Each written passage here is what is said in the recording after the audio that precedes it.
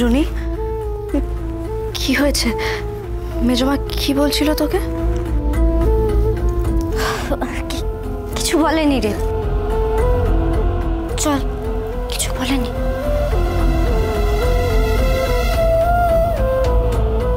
আমি চাই না আমার জন্য কথার কোনো রকম অশান্তি হোক।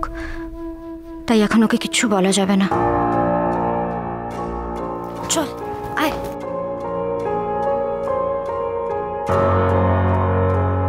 জুনির কিছু তো একটা হয়েছে কিন্তু আমায় বলল না কেন? কি হয়েছে ওর?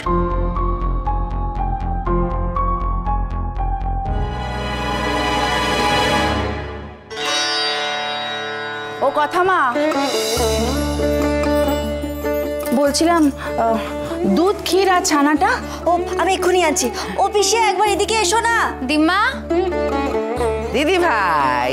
দিম্মা এই যে এটা ধরো ভ্যাবলা চরণের মা দিল। গোপালে রাখবে তাই জন্য এটা দিয়ে দিতে বললাম। এটা আবার কি ধরনের কথা? কি? হ্যাঁ?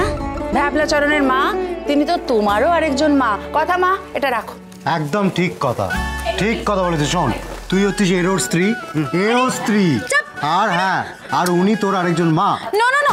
দিম্মা তুমিও কিছু বলতে পারো না সবসময় আমি ব্রোকে বলব। ব্রো দেখ। ব্রো ব্রো দাদা ভাই তখন থেকে ফালতু কথা বলে যাচ্ছে কিন্তু। বলছে আমি নাকি ও স্ত্রী মা নাকি আমার আরেক মা যা পাচ্ছে তাই বলে শুধু কিছু আচ্ছা আচ্ছা রিল্যাক্স রিল্যাক্স কেন বাচ্চা মেয়েটা লাগছিস? তুই অদ্ভুত তো? আমি সত্যি কথা বলব না? না।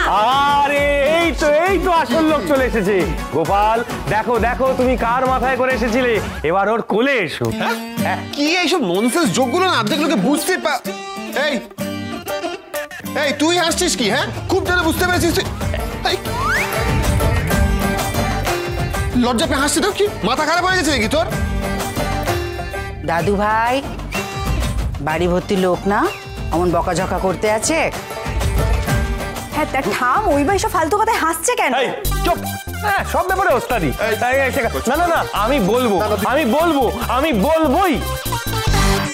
কর্তমা তাহলে আমরা এখন পুজোর অনুষ্ঠান শুরু করি? হ্যাঁ হ্যাঁ আসো আসো চ চ চ চ চ চ চ। কি হলো চ যাচ্ছি যাচ্ছি দাঁড়া গিরি মাধব মধুসূদন চিন্তামণি চতুর্ভুজ যশোদা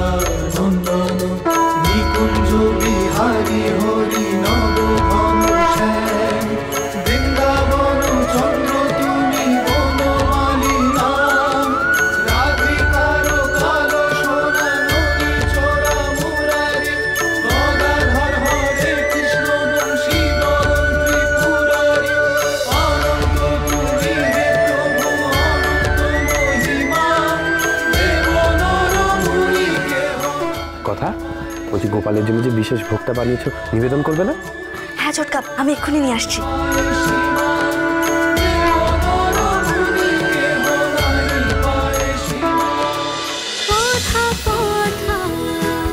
কথা সোম থেকে রবি প্রতিদিন সন্ধে সাতটায় স্টার জলসায় ও ডিসনি প্লাস হটস্টারে।